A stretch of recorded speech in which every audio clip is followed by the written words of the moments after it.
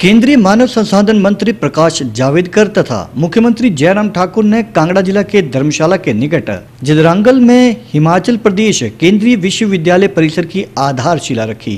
केंद्रीय मानव संसाधन मंत्री प्रकाश जावेदकर ने अपने संबोधन के दौरान कहा कि अगर सबसे बढ़िया जगह हिमाचल ने दी है तो सबसे बढ़िया केंद्रीय विश्वविद्यालय यहाँ जल्दी बनकर तैयार होगा। उन्होंने कहा कि पैसे की कोई कमी नहीं रहेगी। उन्होंने कहा कि यह मोदी सरकार है जो बोलती है, वो करके दिखाती है। इस अवसर पर उन्होंने कहा कि शिक्षा की सुदृढ़ व गतिशील राष्ट्र निर्माण में महत्वपूर्ण भूमिका होती है। उन्होंने कहा कि केंद्र सरकार ने ये सुनिश्चित बनाया है कि प्रत्येक स्कूल में पुस्तकालय हो। उन्होंने कहा कि केंद्र सरकार प्रदेश के तीन हज़ार प्राथमिक पाठशालाओं, जहाँ पर राज्य सरकार के द्वारा प्री नर्सरी की कक्षाएँ आरंभ की जा रही हैं, को हर संभव सहायता उपलब्ध करवाई जाएगी। उन्होंने बताया कि केंद्र सरकार विश्वविद्यालय परिसर का निर्माण शीघ्र करना सुनिश्चित बनाने के लिए हर संभव सहायता भी प्रदान करेगी। जावेदकर ने कहा कि केंद्र सरकार पाकिस्तान को उसके द्वारा घाटी में प्रायोजित आतंकी गतिविधियों का मुँह तोड़ जवाब देगी। उन्होंने कहा कि केंद्र सरकार ने पाकिस्तान से मोस्ट फेवरेट नेशन का दर्जा हटाया है। साथ ही केंद्र सरकार ने कश्मीर के हुरियत नेताओं को प्रदान की गई सुरक्षा भी वापस ले ली है। उन्होंने कहा कि आतंकी फंडिंग पर भी केंद्र सरकार नज़र रखे हुए है और अनेक कदम उठाए जा रहे हैं और सेना द्वारा घाटी में आतंकियों के खिलाफ कठोर कार्रवाई अमल में लाई जा रही है तथा अनेक आतंकवादियों को मार गिराया गया है। उन्होंने कहा कि प्रधानमंत्री ने जम्मू कश्मीर में आतंकी गतिविधियों से निपटने के लिए सेना को खुली छूट भी दे रखी है। कि सबसे बड़ी अगर जगह हिमाचल ने विश्वविद्यालय की दी है, राज्य सरकार ने तो सबसे अच्छा विश्वविद्यालय यहाँ बनेगा, जल्दी बनेगा। और उसके लिए पैसे की कोई कमी नहीं रहेगी। ये मोदी सरकार है, जो बोलती है, वो करती है और करके दिखाती है।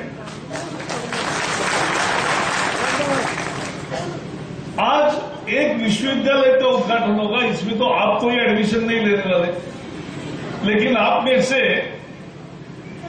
आपके बेटे, बेटी पोता पोती ऐसे लोग एडमिशन ले सकते हैं। उनके लिए एक सुविधा हुई। लेकिन देश भर से आएँगे, क्योंकि केंद्रीय विश्वविद्यालय जो होता है, उसमें प्रवेश के लिए परीक्षा होती है। और परीक्षा के तहत जो मेरिट में आते हैं, उनको प्रवेश मिलता है। तो हिमाचल के लोग तो होंगे ही। लेकिन साथ ही साथ देश भर से आएँगे। तो जैसे शांता कुमार जी इंगित कर रहे हैं कि शिक्षा का विस्तार बहुत हुआ, लेकिन स्तर गिरता गया। इस विश्वविद्यालय आने से, और जो अभी शुरू ही है 2000 से ज़्यादा छात्र है, लेकिन इसको और ज़्यादा मज़बूत करेंगे, और यह नया विश्वविद्यालय धर्मशाला और देहरा के कैंपस में जब पूरी तरह से शुरू होगा, तब हिमाचल का ही नहीं, पूरे इस क्षेत्र का एक नया स्तर कहाँ देखने को मिलेगा? तो हिमाचल विश्व केंद्रीय विश्वविद्यालय में देखने को मिलेगा। ऐसा लोग कहेंगे, ये मुझे पूरा भरोसा है। इस मौके पर मुख्यमंत्री जयराम ठाकुर ने कहा कि केंद्रीय विश्वविद्यालय के दो अलग अलग स्थानों पर दो परिसर होंगे और विश्वविद्यालय का यह विशाल परिसर 1000 हेक्टेयर से अधिक क्षेत्र में स्थापित होगा। उन्होंने बताया कि इन दोनों परिसरों में न केवल क्षेत्र के युवाओं को गुणात्मक शिक्षा उपलब्ध होगी, बल्कि क्षेत्र में आर्थिकी गतिविधियों को भी बढ़ावा मिलेगा। उन्होंने कहा कि विश्वविद्यालय वर्ष 2010 में क्रियाशील कर दिया गया था, परंतु विश्वविद्यालय के दो स्थानों पर अपने परिसर प्राप्त कर लेने के लिए लगभग नौ वर्ष का समय लग गया। उन्होंने कहा कि केंद्रीय मानव संसाधन विकास मंत्रालय और यूजीसी के मानकों के अनुरूप आने वाले समय में विश्वविद्यालय में 14 स्टडी स्कूल तथा 70 अध्ययन विभागों के अतिरिक्त 40 अध्ययन केंद्र स्थापित किए जाएँगे। जयराम ठाकुर ने बताया कि प्रदेश सरकार शिक्षा के गुणात्मक सुधार के लिए विशेष ध्यान दे रही है। उन्होंने कहा कि इन दोनों परिसरों के निर्माण पर 1300 करोड़ रुपए से अधिक व्यय किए जाएँगे और ये संस्थान क्षेत्र में उच्चतर शिक्षा का मुख्य केंद्र बनेगा। इन दोनों परिसरों का निर्माण आगामी तीन वर्षों में पूरा कर लिया जाएगा। कि एक विषय पर धर्मशाला में जो प्रश्न हमेशा आपकी तरफ़ से होता था लोगों की तरफ़ से होता था विधानसभा में विपक्ष की तरफ़ से होता था उसका आज जो है वो आ, पूरा वो प्रश्न समाप्त हो गया।